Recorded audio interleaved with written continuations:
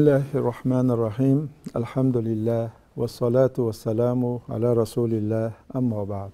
Bugungi mashg'ulotimizda oldingi mashg'ulotimizni davomi ya'ni yakka harflarni o'zidan keyingi harflarga qo'shilish shakllarini o'rganamiz. O'tgan mashg'ulotimizda demak b harfini e, o'tgan bo'lsak bu safar b harfidan keyingi e, jim harfini shu jim bilan birga bir xil yoziladigan jim h x va ch harflarini e, o'zidan keyingi harflarga qo'shilishini o'rganamiz.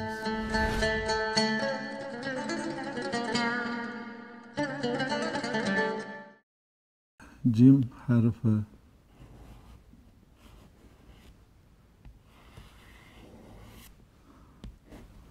Ham h harfi. Nuqtali va nuqtasiz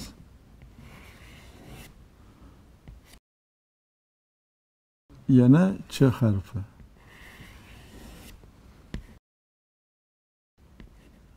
Demak bu qattiq h mana bu yumshoq h mana yozib qo'yamiz yoniga bu jim harfi bu ch harfi. Mana mana shularni endi e, o'zidan keyingi harflarga qo'shilishi ya'ni so'zni boshida kelsa qanday qo'shilishlarini yozib chiqamiz mana to'rovi ham bir xil yoziladi. Shuning uchun biz bitta harfini jni o'zini olib ketaveramiz. Jni alifga qo'shilishi. Mana jim alifga qo'shildi. Endi shu jimni bga qo'shamiz.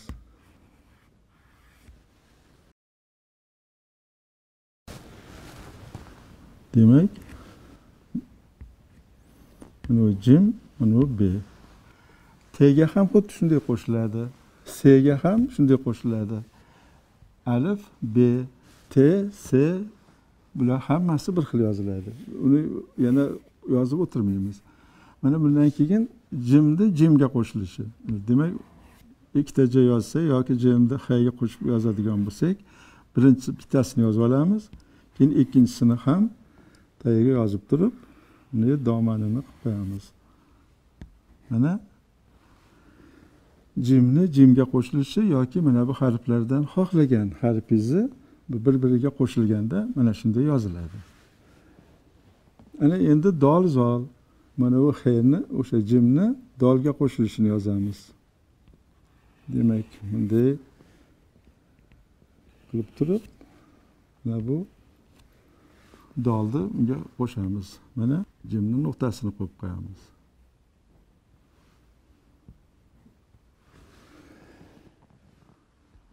Rega qo'shamiz endi. Dol bilan zol bir xil. Shakli bir xil bo'lgandan keyin uni ikki marta yozib o'tirmaymiz. Mana endi jimni rega qo'shamiz. Mana jim bo'lsa bu rega mana bunday qo'shiladi. Zga ham xuddi shunday qo'shiladi. R bilan z bir xil yozilgani uchun biz bittasini yozamiz. Mana undan keyin jimni yozamiz. Undan keyin mana sinni yozamiz. Mana bu jimni sin harfiga va shin uchta nuqta qo'ysak shin bo'ladi. Ikkalasiga ham shu shaklda qo'shiladi. Ana endi shu harfni sod harfiga qo'shilishi. Mana jimni yozamiz birinchi keyin mana buni qo'shib qo'shib qo'yaveramiz sod harfiga. Mana jimni demak sod harfiga qo'shdik. Zot harfiga ham xuddi shu bir xil qo'shiladi. Ana undan keyin jim harfini arabcha t harfiga qo'shamiz. Mana. Z harfiga qo'shsak ham xuddi shunday yoziladi. Ana endi shu jim harfini aynga qo'shamiz. Mana jim qilib yozamizda buyog'iga aynni. Yozamiz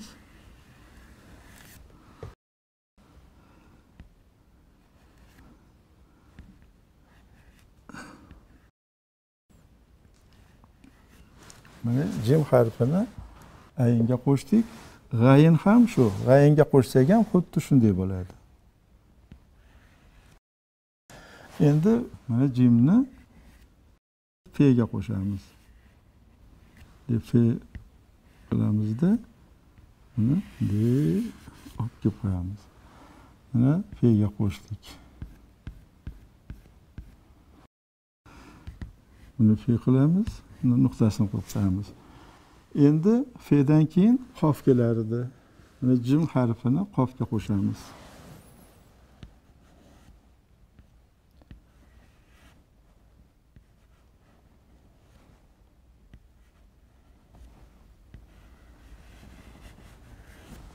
mana qofga qo'shdik.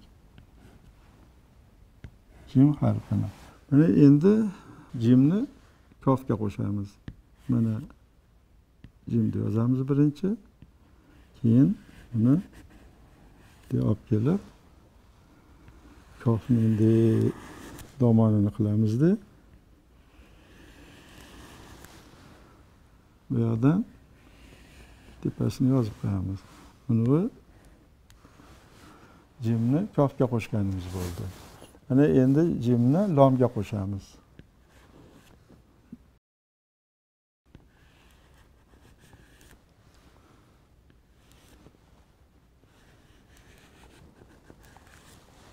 mana jimni lomga qo'shdik ana endi jimni mimga qo'shamiz demak mana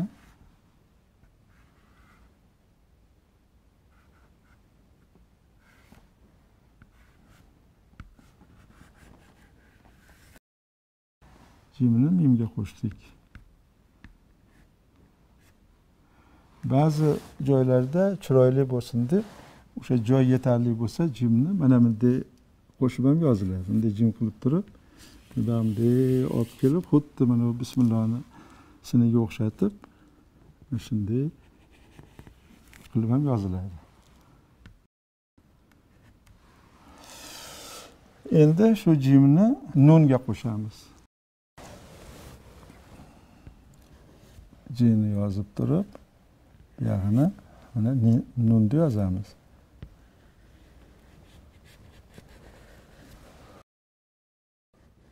jimni demak mana nunga qo'shdik. Endi nundan keyin vov kelar edi vovga qo'shamiz. Mana jimni vovga qo'shdik.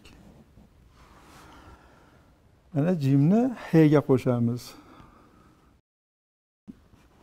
yumshoq hega qo'shamiz.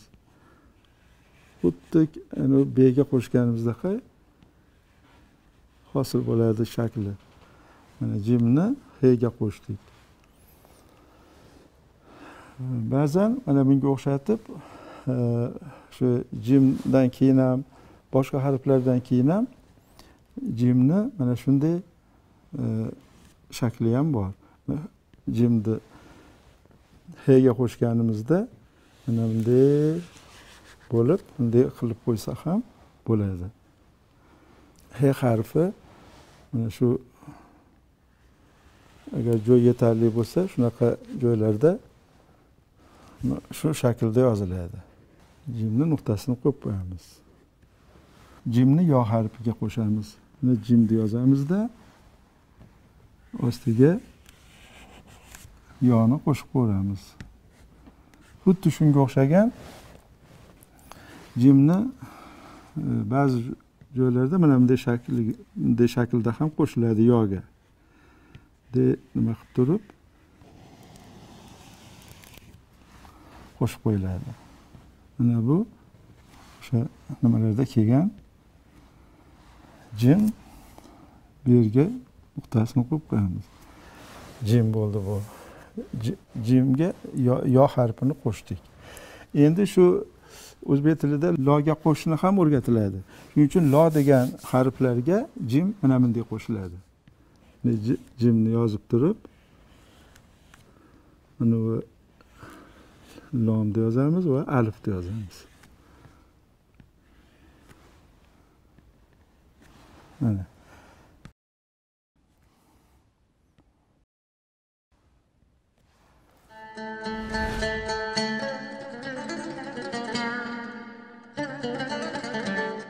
Biz hozirgi mashg'ulotimizda e, shakli bir xil bo'lgan to'rtta harf bor edi.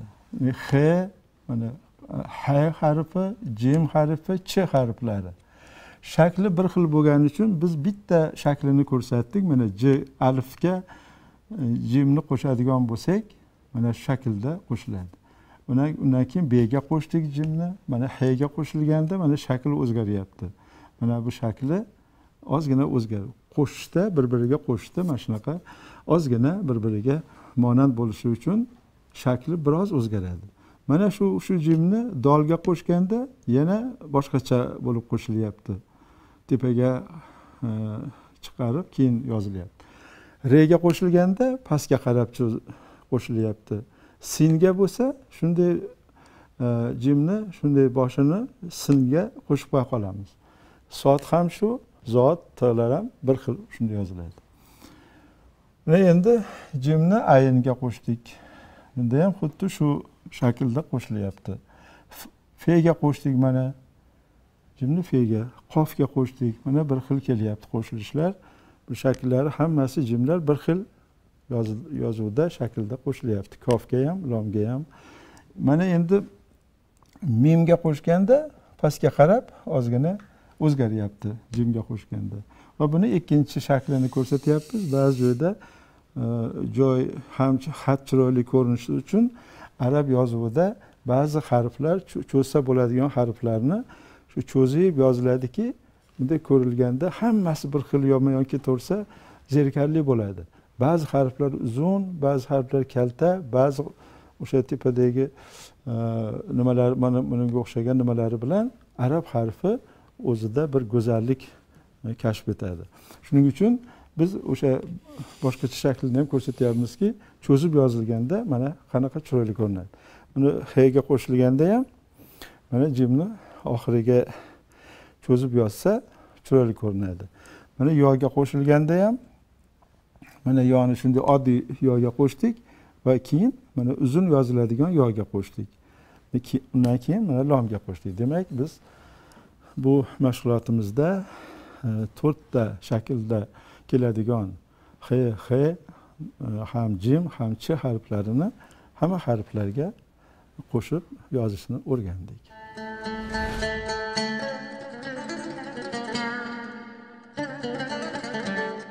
Sin shinlar o'zidan keyingi harfga qo'shib yoziladi. Mana shuni ko'ramiz. Sin bilan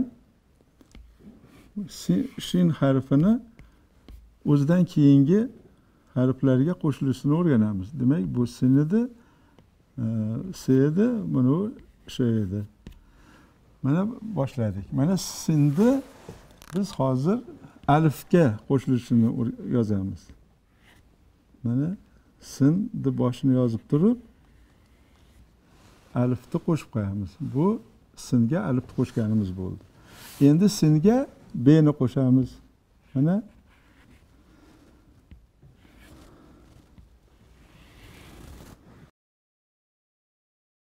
Singa bni qo'shdik. Endi shin ham shu sin ham shunday qo'shiladi. Bni bitta yozdik.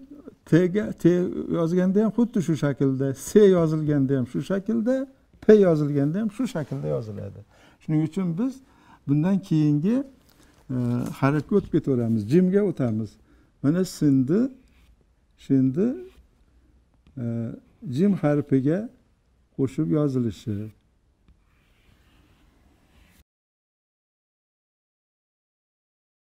h h ham xuddi shunday yoziladi.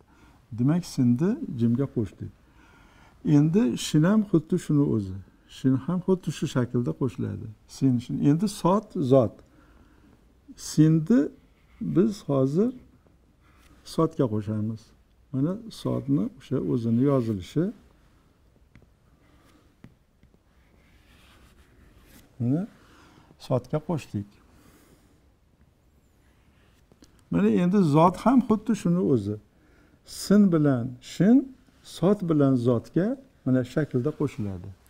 Ana endi t tga qo'shilishi. Mana sinni yozdik va mana bu tga qo'shib qo'ydik.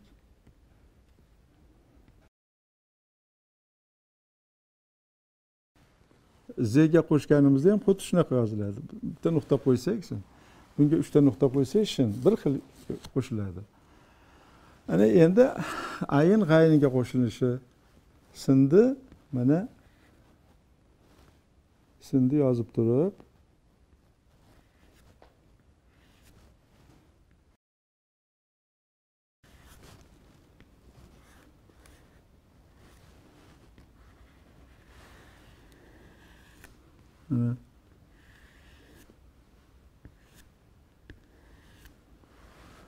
ayinga qo'shdik. Demak sin shin ayin g'ayinga mana shu shaklda qo'shiladi. Ana undan keyin singa e, feni qo'shamiz endi. Mana sin va buyog'ida fe harfi. Sin shinni biz fe harfiga qo'shdik. Endi shu sin harfini qofga qo'shamiz. Mana hozir. Ismni yozgandan keyin bunday olib kelamizda qof harfini qo'shib yozamiz. Mana qof harfini qo'shdik shunga. Mana sinni biz endi kofga qo'shamiz. Sinni yozib turib kofni demak mana shunday shaklda yozamiz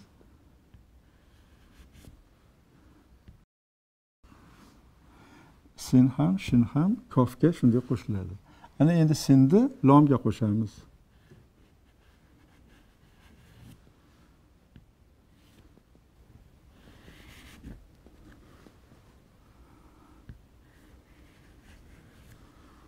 lomga qo'shdim mana sin shin lomga shunday qo'shiladi mana endi shu sinni mimga qo'shamiz mana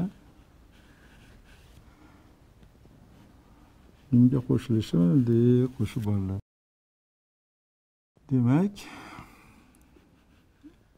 sin bilan mimga mana shu shaklda qo'shiladi nuqta qo'ysak shin bo'ladi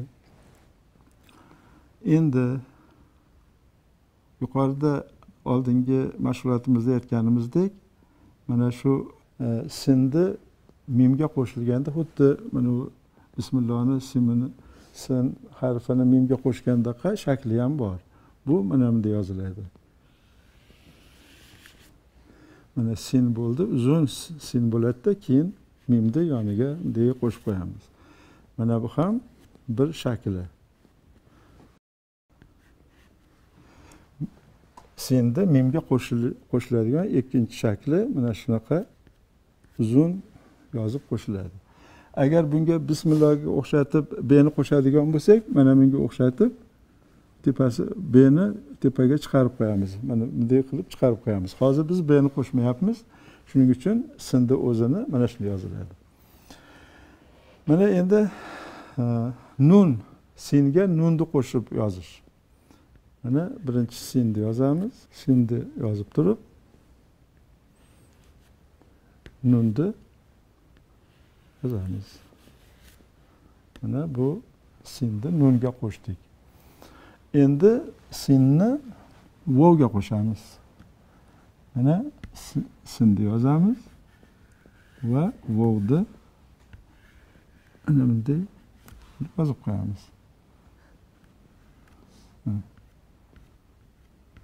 bu vovga qo'shildi sen shin vovga shunday qo'shiladi ana endi sinni yumshoq hega qo'shilishi arab tilida uch xil he bor shundan eng yumshoq h shunday shaklda ko'rinadi mana. Ba'zi joyda cho'zib chiroyli bo'lsin deb yoziladi. Hga sinni qo'shganda mana shunday kelib turib bunday qilib qo'yiladi. Mana shu ham hga o'taveradi. Sinni hga qo'shgan bo'ladi shunda ham. Mana endi e, yoga qo'shamiz.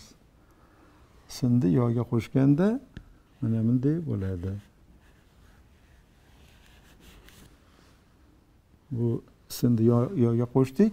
Xuddi shunga o'xshagan sinni yoga qo'shganda mana bunday shakl ham bor. Buni ham ko'rsatib qo'yamiz.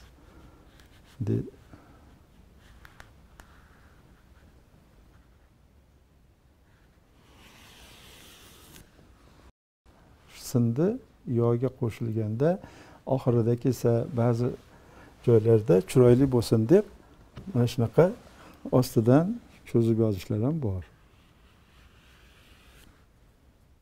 Shuni ham xuddi shu. Mana endi yana sindi loga qo'shamiz. Mana sin harfini lo harfiga qo'shadigan bo'lsak lomni o'zini yozib turib bu yerda nomni to'la yozmaymiz. Chunki alifni qo'shamiz bunga. Mana alifni qo'shsak shunday shakl paydo bo'ladi. Mana endi biz birdaniga e, singa o'tib ketdik chunki mana bu dol harflari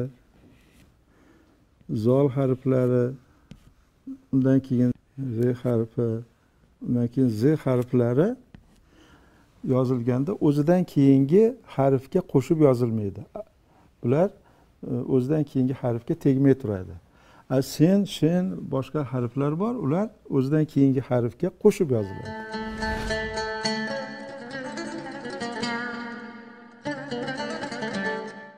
Demak mana bugungi mashg'ulotimizda sin shin harflarini o'zidan keyingi harflarga qo'shib chiqdik. Mana alifga qo'shdik bega qo'shdik undan keyin jim h x ch harflari mana shu shaklda yozilar edi shunga qo'shilganda demak sin pastga qarab ketar ekan. Mana endi sot zotga qo'shganimizda mana yonida o'sha sinni faqat bosh qismi yozilar ekan.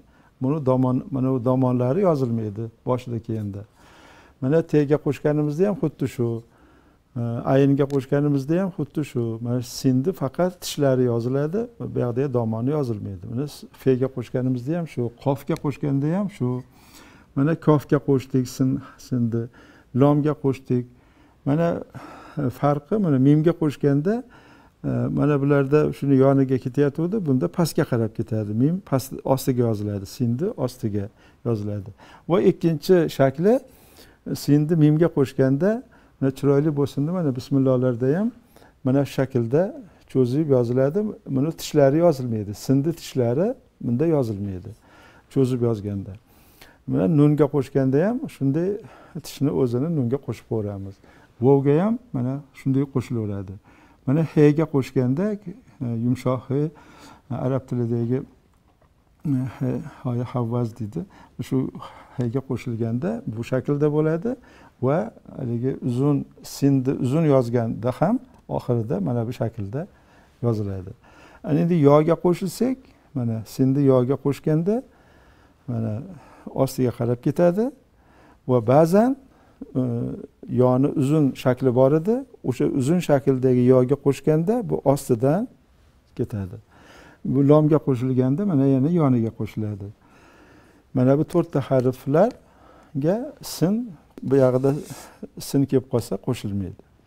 Sin harflari bular alohida bo'ladi o'zidan keyingi harfga qo'shilmaydi. Shuning uchun biz qo'shmadik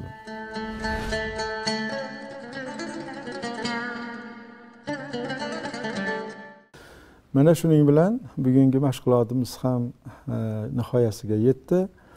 E, mana bugungi mashg'ulotimizda asosan bizlar mana shu harflarni e, yakka mufradot e, shaklida emas murakkabot shaklida yozishni o'rganishni boshladik. Ya'ni arab harflari yakka yakka yozilganda uni mufradot deyilar ekan.